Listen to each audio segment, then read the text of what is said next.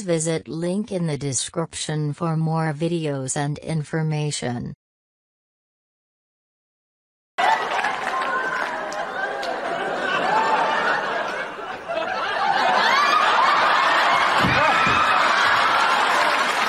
Please visit link in the description for more videos and information.